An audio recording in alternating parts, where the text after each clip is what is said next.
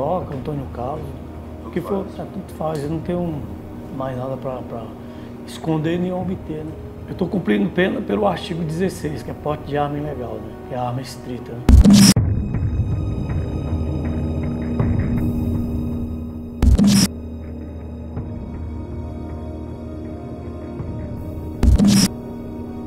Eu tinha um pessoal meu que ia vir fazer para nós uma, uma fuga, né? uma fuga do, do IPPS por a muralha. Só que na época era muito próximo de festa de, de Páscoa e a muralha estava na época era o choque que chamava os bolha vermelha.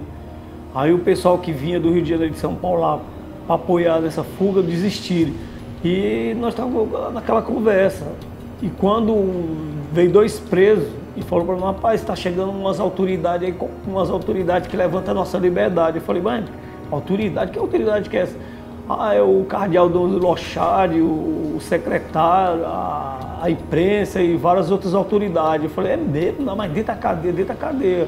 Eu tinha lido uma reportagem dele, é, que ele era o, Dom Luiz, quer dizer, praticamente era aqui no, no estado de Ceará, como ele, ele fosse um, um nas nossas palavras, um manda-chuva, né? Um, praticamente ele mandava muito mais do que o governador, que na época era o Ciro Gomes, né?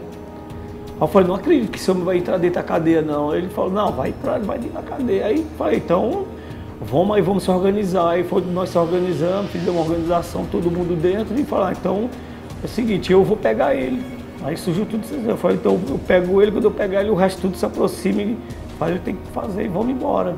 Nós se encontrava ali no P7, na cela 8, era a cela 8, que ali foi nós fizemos uma, uma, reunião ali onde foi colocado todos os pontos e vírgula. Eu falei assim, ó, então é o seguinte, quando que chegar na, na, na voz do, do, do, Dom Luiz, é o sinal para nós pegar. Quero, quero, qual que era o sinal para pegar, para me chegar e pegar o Dom Luiz. Quando eu pegasse o Dom Luiz, todo mundo tinha que vir para cima pegar as outras autoridades que tivessem ali. Aí quando chegou na voz dele, que chegou na voz dele, ali era é, eu queria até desistir, porque, falar para você, me deu um medo muito grande ali, que deu medo muito mais. Só que tinham conversado entre nós que se eu ou qualquer um dos que estivesse na, na organização ali para fazer aquela fuga ali desistisse, a pena seria a morte. Então, se eu desistisse ali, quando eu voltasse lá para dentro, eu ia morrer. Então, quer dizer, eu tive que ir de qualquer jeito. Aí foi onde que eu me levantei, eu estava ali na, na terceira fila, me levantei e tive que grudar o homem lá. Né? Quando nós pegamos, que nós levamos lá para o quartinho lá do auditório, que começou as primeiras negociações, é, na, na, primeira vista assim, que veio a negociação, veio o coronel Davi, né, que era o coronel geral do, do estado do Ceará, da Polícia Militar.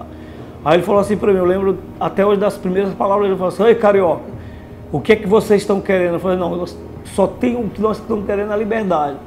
Mas aí, dá o Dom Luiz. Eu falei, não, como é que eu vou dar o Dom Luiz para vocês se é o, a, é o principal que nós temos na mão, é o Dom Luiz? Vamos fazer o seguinte, vou dar o PM que estava baleado. Aí foi onde que eu liberei o PM. Levei o PM até a portaria, o PM estava baleado, entreguei o PM para ele.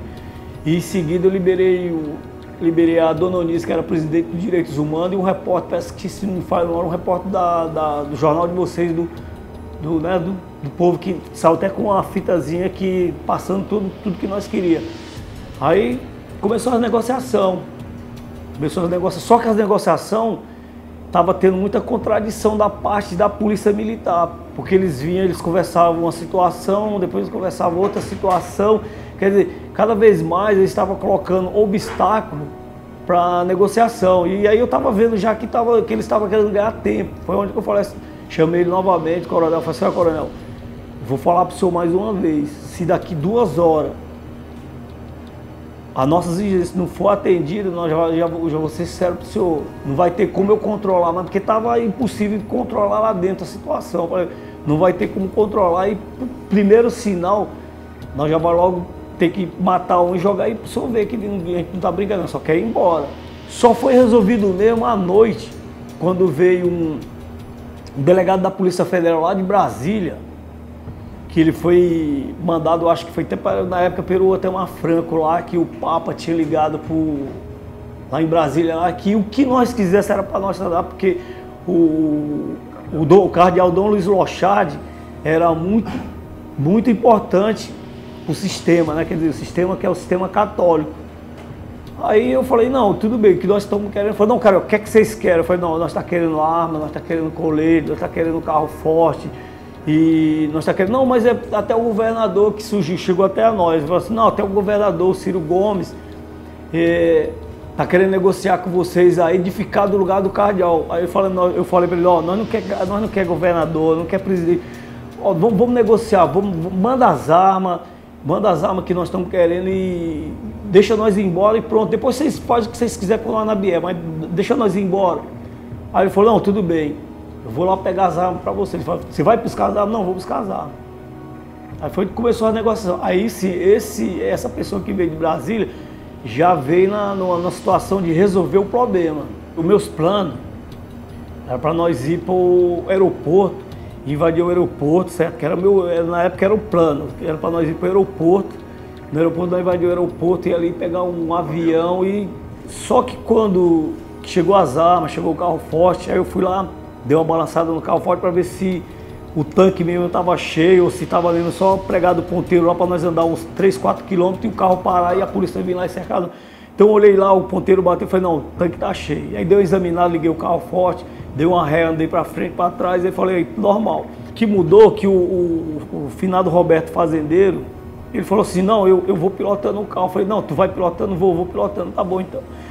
Quando nós, para fazer o retorno aqui na BR-116, que eu falei, ó, tu faz o retorno por sentido Fortaleza. A Polícia Federal e acho que todas as viaturas fechou o acesso para Fortaleza. Aí nós seguimos o que? O interior. Nessa que nós foi seguindo para o interior, quando chegou aqui, depois de Pacajus, tinha uma, uma ruazinha de chão lá, muita escuridão. Eu falei assim, ó, entra nessa rua aqui. Ele entrou na rua, aí apagou a luz do carro forte. Quando nós ficou olhando muita viatura, muita ambulância, e eu falei, ó, esse carro tá rastreado. Aí foi onde que o, o finado falou assim para nós, assim, ó, meu pai tem uma fazenda aqui perto. E o seguinte, vamos lá para a fazenda, lá nós dispensamos refém nós pegamos lá uns 3, 4 carros que tem lá na fazenda e quando chegou lá na fazenda, na casa dele, foi tipo assim, o, como a gente fala na linguagem do crime, o conto do vigário. Chegou lá, tinha o que? Os pacotes de pão duro e 2 litros de cachaça. É onde tem cachaça, ela só serve para deixar a pessoa com a mente louca, né? Aí é onde que as pessoas começaram a beber cachaça, certo? Aí quer dizer, eu tá, já começou a perder o controle dentro do, do, do ambiente. A mãe dele, ela, ela falasse para mim, ô carioca, deixa, deixa o Dom Luiz aí, deixa, deixa o Dom Luiz. Só que eu ia deixar ele lá mesmo, nós ia deixar todos os reféns ali na casa dela. Só que quando nós está olhando é, no, mais ou menos assim por cima, nós vimos um monte de viatura que estava vindo lá, tudo com o farol tudo assim. Eu falei, não, entra todo mundo no carro, vamos embora, vamos embora. Foi que é onde que eu peguei o carro e já tirei da mão do Betinho, né? E fui guiando o carro forte. Aí nessa nós seguimos, quando nós foi, nós, começou já o descontrole. É, os meninos colocando fuzil para fora do carro forte, tirando os caminhões, os caminhões se jogando dentro do mato.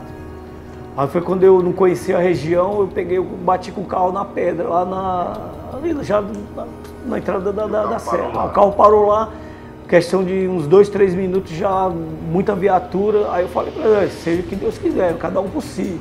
Aí eu abri as portas do carro forte e todo mundo saiu correndo.